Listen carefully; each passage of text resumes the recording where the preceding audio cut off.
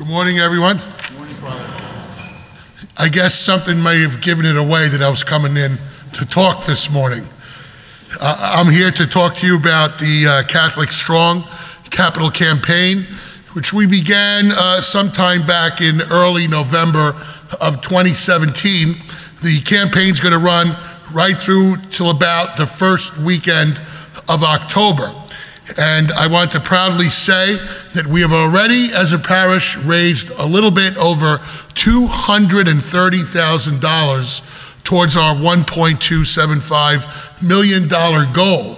Uh, and the other beautiful thing is, even with our House of Charity, we're cl coming close to about 80%. So I want to thank each and every one of you who have given to both of those great endeavors uh, to our parish. Thank you for taking your time uh, to meet with me. Uh, just to give you a little bit uh, more information about what Catholic Strong is, this capital campaign and House of Charity, because sometimes some confusion arises in terms of, you know, how is this different? Uh, how is it similar? All of these questions come up, especially when uh, a capital campaign hasn't been done in over 20 years uh, in the diocese. Usually they're done about every 10 years uh, on a diocesan level.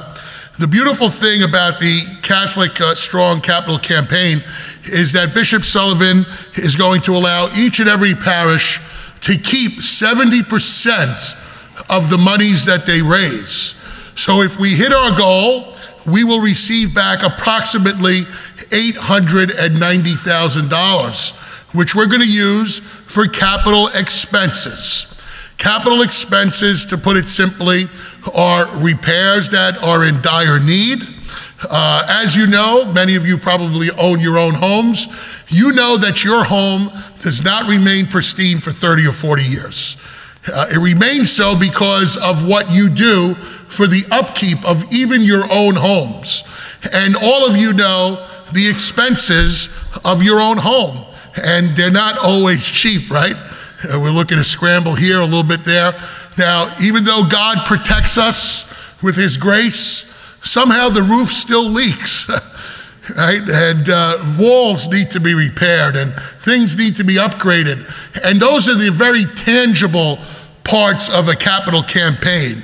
Uh, but we're also going to do something a little more innovative in this campaign. We're also going to allot some monies towards ministries, especially evangelization, so that we can bring some of those families back who may be missing for whatever reasons. We pass no judgment. We have to be welcoming and inviting, uh, and hopefully to bring them back, but also towards youth and music ministry and things like this to make the parish more vibrant, even for those of us who are here every single weekend, and many of you even every day for uh, daily Mass. Now, the confusion arises in terms of what are the differences. So, in your pews, one of the, I have two forms for you. Uh, only take one form per family. There's going to be a form on the right and a different letter on the left of the pew. So, if you pass those along to each other, one is going to look like this. It's going to feel uh, very glossy. That's the one that shows the differences between House of Charity and the Catholic Strong Capital Campaign.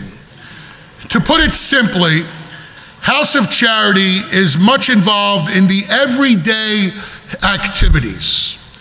Uh, we know one of those ministries very well because Deacon Jerry Jablanowski is the director of Vitality. Vitality provides health care services, hospital chaplaincy, and many other things on a day to day for those who are in some kind of medical need. If you need consultation about maybe putting an elderly parent in a nursing home, uh, Deacon Jerry's group of people help provide those kinds of services. And as you know, our own uh, Father Sanjay was here year, a few years ago, is uh, Deacon Jerry's right hand man. And we have a number of parishioners also have been employed by the diocese in that vitality uh, group. So those kinds of services are day to day functions. Capital campaigns, again, are looking at either building something, repairing something, or putting monies into ministries uh, that need uh, invigorating. Uh, one thing that we want to plan to do, which you will begin to see as early as July or August, uh, will happen in the church. Uh, if you take a good look around you, uh, we still have wallpaper in here.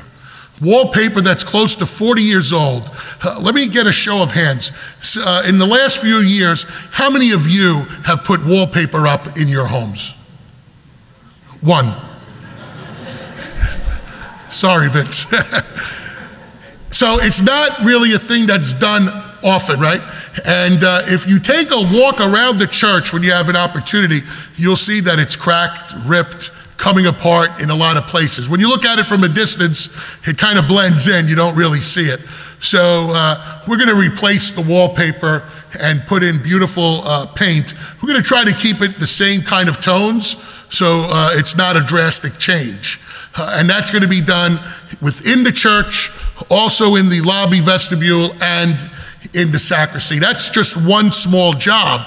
So if you look at the other paper, you will see how we broke the monies down on the other sheet. The 892,000. Now, that 892,000, obviously, we can't zero in on prices until contractors come and all the rest. So these are just rough estimates. Obviously, there may be money left over for other things. We're allowed to move money to things that we think are quite important. Uh, one major thing that we want to do is extend the lobby in the vestibule area.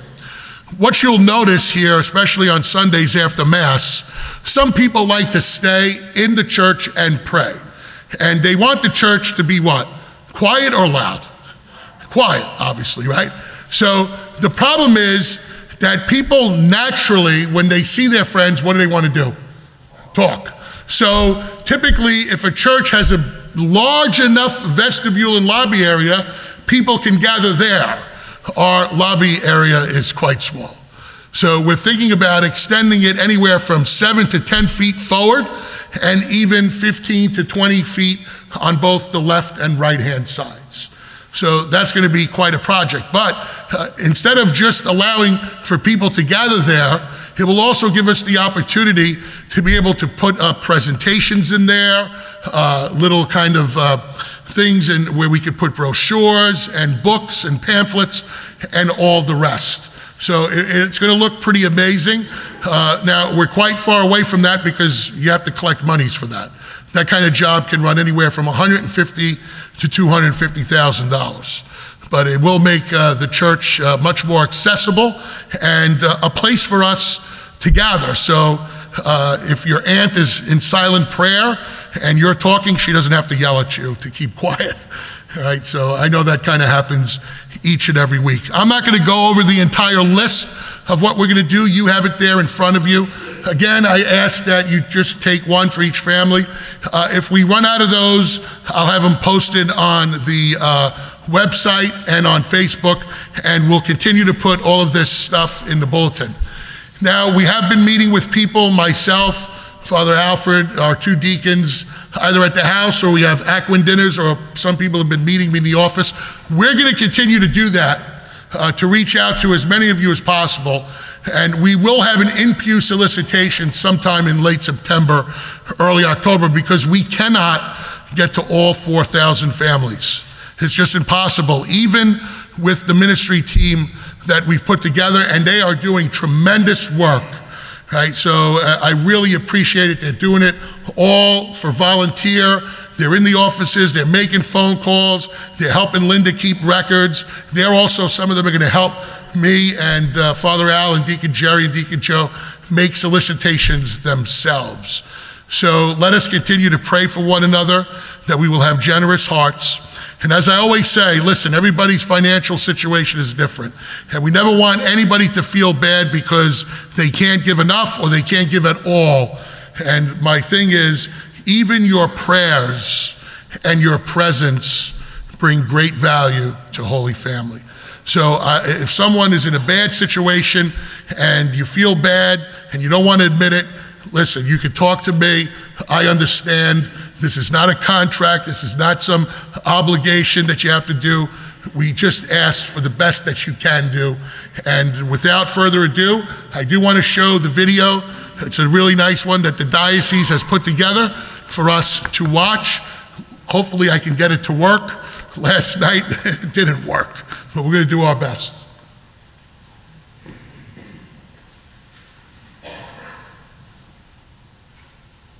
You and I help to form a vibrant Catholic community with a rich history of devotion to God.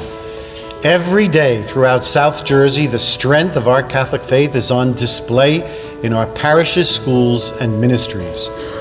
Through these areas, as well as the sacraments, we celebrate our faith and develop a deeper relationship with Jesus Christ and His Church, which empowers us to become the missionary disciples Pope Francis calls us to be. For more than 300 years, the Catholic faith has been proclaimed throughout South Jersey. For the last 80 years, this has been done under the umbrella of the Diocese of Camden. Now, it is time for this present generation of Catholics to make their mark on the history of the diocese by providing a strong foundation for future generations. Catholic Strong, the campaign for the Catholic community of South Jersey, will raise $50 million to help expand and invigorate our local parishes across the six counties in South Jersey.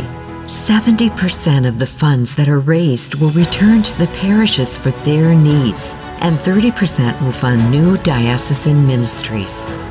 This is to provide the necessary funds and resources that will bolster and sustain the heart of the Church our parishes. Parishes form us in faith and bring us to the mercy and love of God through sacraments and coming together as a community. Our strong parishes are more than just physical buildings, they are the people of faith that make it a home and loving community.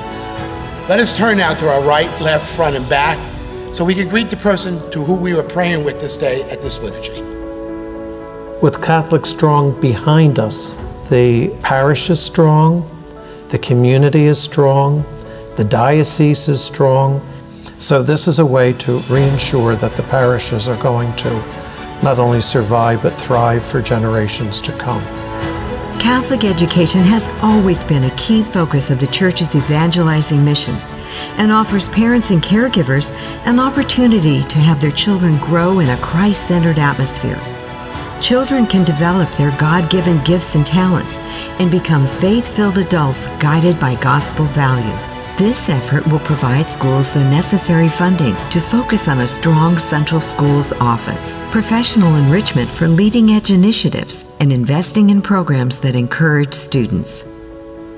Funds from Catholic Strong will also enable the diocese to meet growing needs not currently supported by traditional funding sources. Give him back. Give him back. That's what we do. It's about the other people, guys. Our activities allow us to live our Christian faith, to see the face of Jesus, and our response to that is the enactment of our faith. Pope Francis, he called to be out there with the people on the peripheries. As a church, as a diocese, as a community, we could expand this ministry uh, to be far reaching throughout our, our area. It means being a part of the magnitude that is the church and being a disciple of Jesus Christ and then bringing that out to the people around you. It's everything to me. It's the structure that I need to live my life and to find Jesus in everything that I do. Helping those on the peripheries, healthcare support, and addiction healing programs across southern New Jersey will empower communities, strengthen families, and change the world. This task may seem daunting, but we are one family. We must ensure each parish has the full resources it needs to guide the baptized and reach out to those who are not. The new funds will allow us to promote the vitality of Southern New Jersey Catholic parishes and ministries, to continue training strong and faithful Catholic leaders. From our parishes and schools to the social services we provide and the faith we embrace, together we are Catholic Strong. Our church family depends on the generosity and commitment of every single one of us to this campaign. Know that the majority of monies will ensure the vitality of essential programs and ministries that are presently sponsored by your parish. At the same time, new pastoral endeavors will be developed. Your gift will allow our church to extend its mission into the future for all those who wish to encounter the power of Jesus' message of love and service. Thank you, and God bless you. We are Catholic Strong. I am Catholic Strong. We are Catholic Strong. I. I. I. I'm Catholic Strong. We, we are Catholic Strong. I. I am Catholic Strong. Catholic Strong. Catholic Strong. We are Catholic Strong together. We are Catholic Strong.